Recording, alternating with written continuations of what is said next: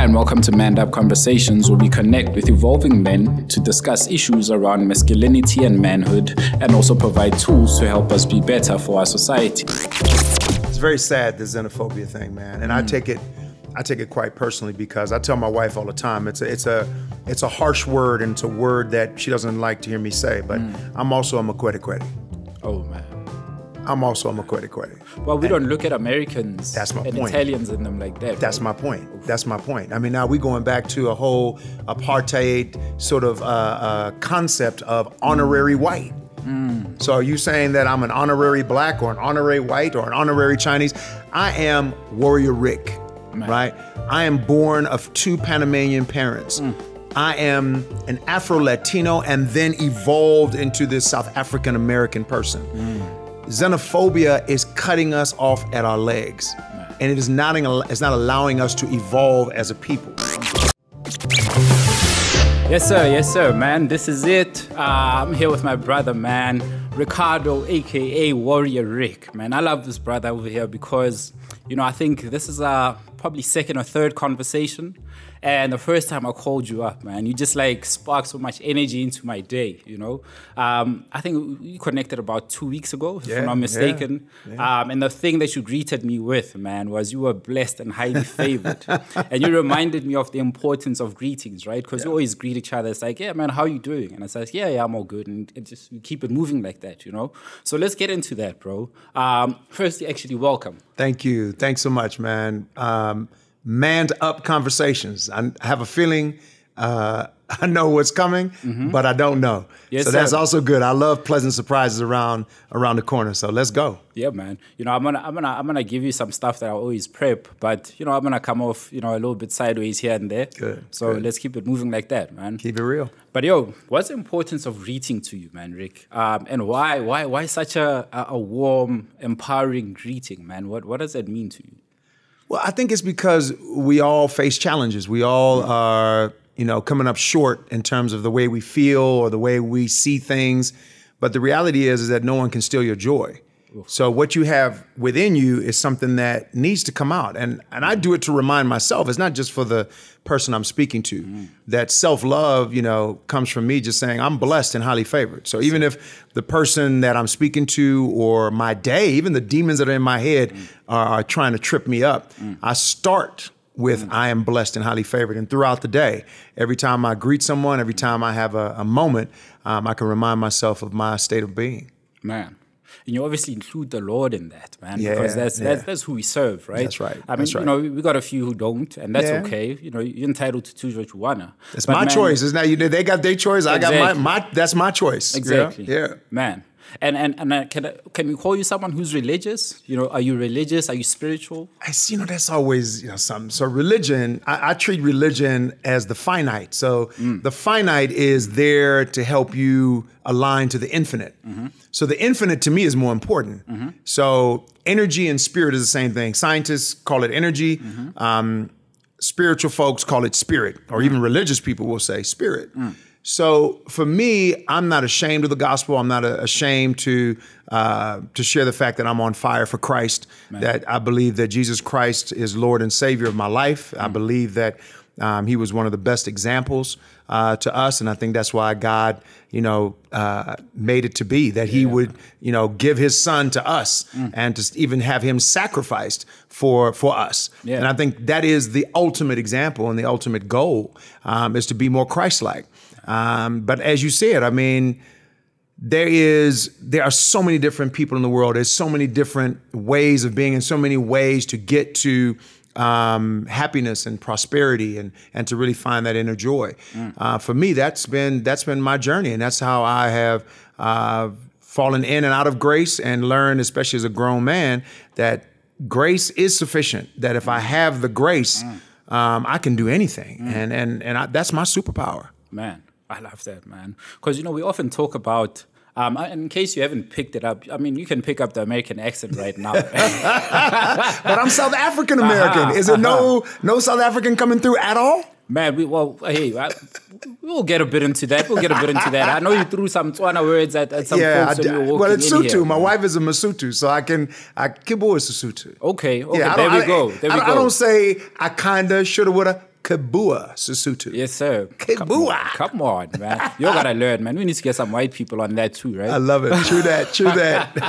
but man, WarriorRic, my brother, you know, you moved from um, the States and you ended up here in SA, man. I mean, you know, a lot of people know you for, for your active um, voice on social media, um, at, at, at, athletic events, and all of the stuff. You always, wherever I see you, man, you like, you know, larger than life almost, you know, you always, or not even almost, always larger than life, bro. You always, you know, screaming from like the pits of your voice. Like you can hear there's like so much power, rawness right. in this guy, but you're using that to impact people. And I love that, you know. But I want to ask, man, like why South Africa specifically? Um, yeah. I was modeling, bro. I was. Oh wow. Yeah, okay. I was modeling in Europe uh, in 1993, and a agency from South Africa, you know, was in Italy. We went mm. into the agency. It was called Ugly People. Agency oh, was wow. called Ugly People, right? and uh, a fine brother modeling for ugly people. Come on. but it get, hey, it gets casting directors yeah, and, and yeah. magazines thinking ugly people. Let's have a look at that. Okay. Okay. And so yeah, they they said uh, that I would do well in South Africa. I had mm. studied South Africa at Stanford, at Stanford University. I took oh, courses. Wow. Um, on South Africa, I was very curious mm. about race relations, mm. about history, uh, about Zulus, about Boers. I was just the Anglo Boer War, all those things um, I had studied, and, and, obviously in those recent uh, times of early '90s was mm. you know mm. Chris Hani and uh, and Nelson Mandela coming out of prison. So I was just I was very curious, mm. and so I said, yeah, I'll take on the opportunity. I knew it was risky. I knew that there would be uh, some challenges. Things were still blowing up. Mm-hmm. It was still Jan Smuts Airport. Mm-hmm. It wasn't OR Tambo, mm-hmm. so there mm-hmm. was still you know a lot of issues, bomb threats. Uh, uh, there was still some sabotage going on. So I was uh, aware, yeah. but I, but I said this would be a good time for me to um, not increase my my uh, to improve my career as a model, but mm. I think it was more about the adventure mm. of learning more about Africa, learning more about who I am in Africa, learning wow. more about my identity uh, as an African American, mm. and it was uh, yeah, it was the best thing I could have ever done man. And I mean, the culture's kind of embraced you, man. Because whenever I see you with like hundreds of people, man, yeah, right? And yeah. it's like all sexes, all ages, different. So you're experiencing Ubuntu that we talk about, big man. time, big and, time. And, and how is that that the Ubuntu spirit? Because man, we walked in here Oh, like bro. I met people that I didn't even meet before, and I've been here for like I'm here every other day, and I'm like, okay, here's here's someone from outside. I didn't even call you an outsider because you've been here for right. 23 plus, right? Right, right? So here's someone who's maybe not born here, but who's you know really living the values of Ubuntu. So how are you experiencing all of that? Well, I mean, you know, for me, once I got wind of what Ubuntu, Ubuntu, Gabantu is. Ooh I recognize that that is fundamental to our humanity. Mm. Um, and where we lost the plot mm. is when we started thinking more like Western philosophers like Descartes, mm. who said, Rene Descartes said that, you know, I think, therefore I am. So that mm. makes me human. Mm. So, but that's a, a very solitary, individualistic, even narcissistic way to look at things. Mm. If you think that you are human because you stand alone, well, not only is it easy for you to fall, you can even get your own house, your own children, your own little corner and space.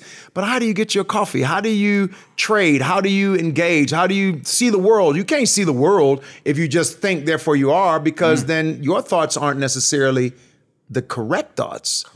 So for me, that's where I started recognizing Ubuntu was mm. was at a crossroads, was actually at at at, at odds mm. with this Western philosophy of I think, therefore I am. Mm. So it is an African way of being that dates back mm. probably to the beginning of time, probably yeah. with the the Khoi and the San, and and it really means that you know when you see a stranger, mm. that it is really up to you to recognize that you are because of that person. Yes, that you, the decision you make to give or not to give, mm. is is at that that point, mm. that moment in time mm. where you could offer a cup of coffee or water or even a, a, greeting, that's your opportunity to demonstrate Ubuntu. And when you demonstrate Ubuntu, now bringing it into the Christian uh, side of things, uh-huh.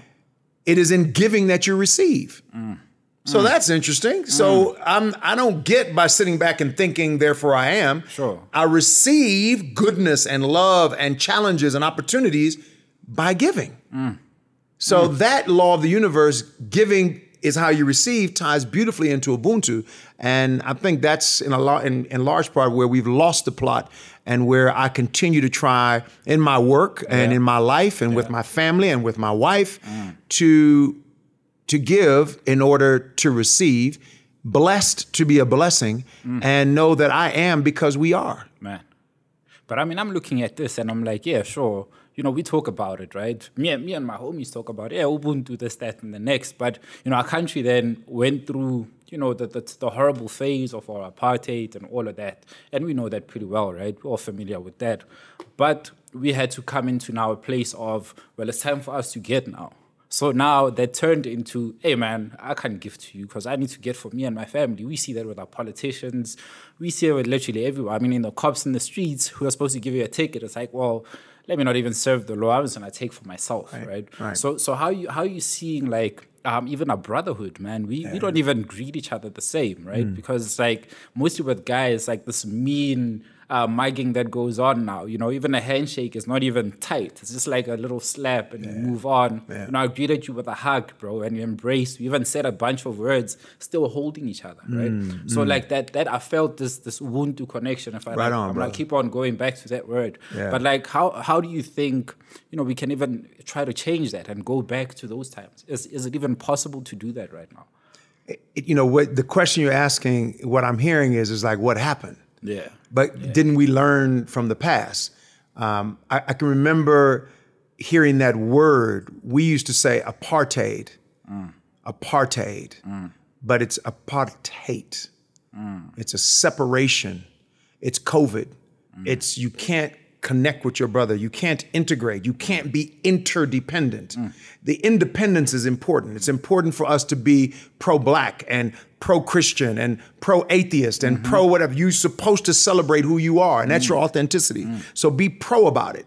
But in order to learn your pro and to learn mm. more about how you can change your pro and evolve and you can change your mind is you're going to have to integrate for interdependence sir. which is ubuntu so what did we learn or what we didn't learn is that the separation of i think therefore i am. Mm. The separation of i got mine you get yours mm. is what we're living today. You see this is not our turn.